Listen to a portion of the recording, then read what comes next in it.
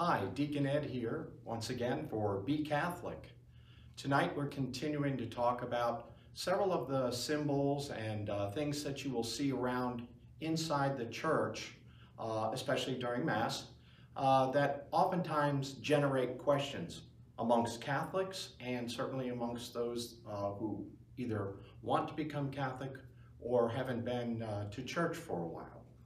And so two of the symbols that I wanted to bring up today are two common symbols that you will see on banners or that you will see uh, on vestments, like what father wears and what the deacon wears uh, when they serve at Mass. And the two symbols we're going to talk about today are these two right here. The first one, uh, IHS. I wonder if you know what that means, if you were to take a guess. I know we have lots of people that uh, fill in in English, like in his service or something like that uh, for the IHS. But actually what it is, is a derivation from the Greek of Jesus' name. So this actually would be the first three letters in Greek for the name Jesus but it's been transposed into the Latin letters.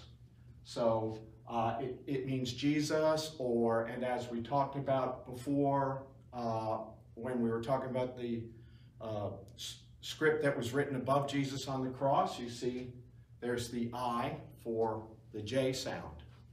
Um, and of course, the word Jesus means God saves.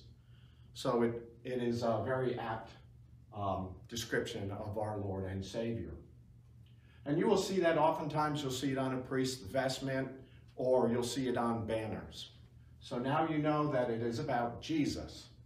The next one here uh, kind of looks like uh, the cross of uh, St. Andrew and the letter P. And I've had people come to me and tell me that it stands for Peter or it stands for the keys that Peter was given uh, at um, when he said, you are the Lord, right, in Matthew's gospel. But that is not what it means.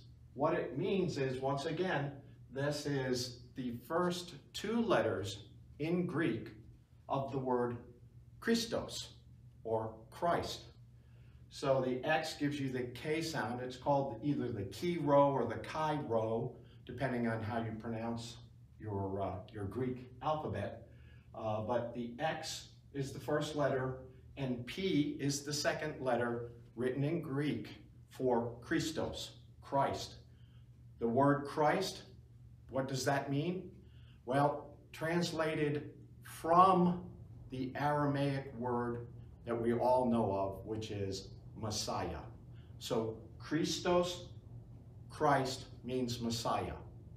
So the next time that you go to Mass and you look around and you see these symbols or these letters, now you will know that what we are talking about here is our Lord and Savior, Jesus Christ. This is Deacon Ed with Be Catholic. Hope you enjoyed. God bless.